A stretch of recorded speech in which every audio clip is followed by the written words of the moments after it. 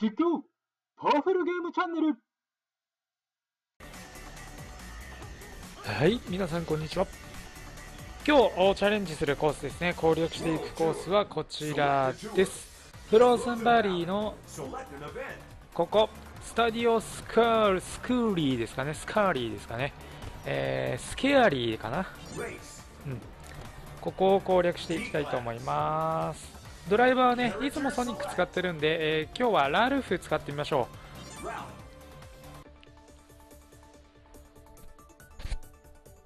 う。ラルフはあのディズニーのね、キャラクターですよね。まあディズニーが好きな方はよくね、ご存知だとは思うんですけども、あのーこのゲームの中では、まあ、見た目通りというかですね、あの加速性能があまり良くなくて、ただトップスピード、伸びがいいっていうような、まあマシン設定、えキャラクター設定になってます。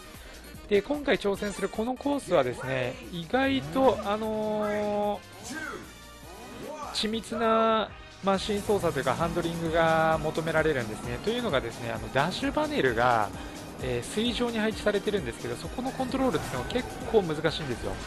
なので、そこがね、このラルフだとちょっと向いてないかもしれないんですけども、あえてね、挑戦をしてみたいと思います。えー今なんだろう、何かやられましたね。いい感じでドリフト決めながら話してたんですけど。ここからですね、水上コースになってですね、このダッシュパネル、今踏めませんでしたけど、このダッシュパネルを踏んでいくっていうのが攻略のポイントになります。ここもダッシュパネルですね。これがね、踏みづらいんですよ、ラルフだと。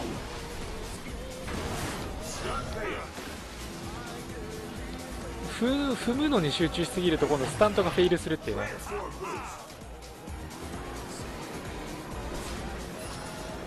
さあ巻き返していきますよ。おわっと！コース取りをですねきっちりしていかないとお邪魔虫にねかまっちゃいますから。で今のところも踏めませんでしたけどもきっちりと踏んでいくと。これがハードのレベルになると踏んでいかないとねなかなか難しくはなってきますので。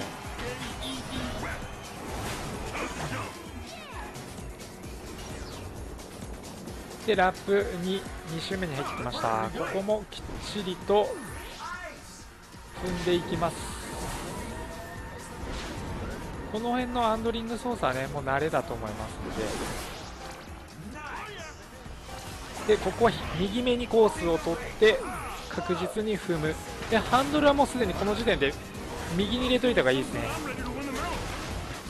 ちょっと今入れ損ないましたけど今のところでもうすでに右に入れとくと。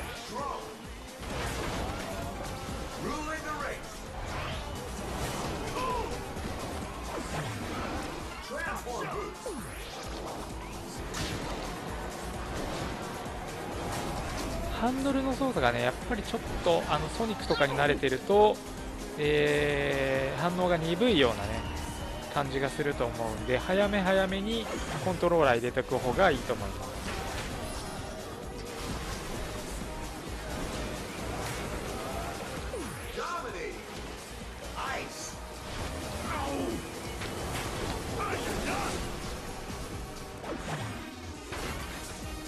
さあどうでしょう。後続とはだいぶ差がついてますねじゃあ今度はゆっくり、えーきっちりねベストなコース取りをしていきたいと思います。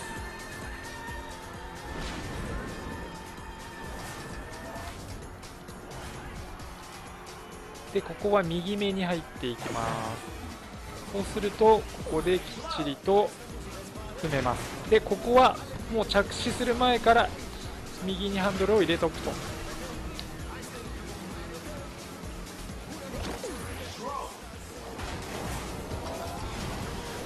こもきっちり2個とも踏みましょう。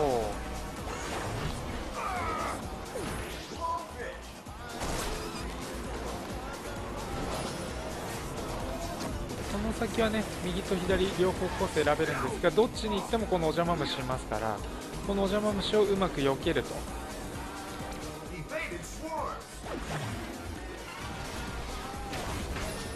で着地と同時にハンドルを切っておきます。踏みましょう。ここも。ここも。ここはうまい具合に踏む。うん踏めない。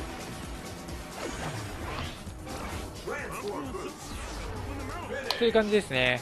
えちょっとあまりいいところなかったんですけど、えっと、コース取りとしてはですね、えー、お邪魔虫を外すっていうところと、あとは、水上コースでのダッシュパネルを、まあ、きっちりと踏むっていうようなコース取り、ライン取りをしていただくっていうのが攻略のポイントになると思います。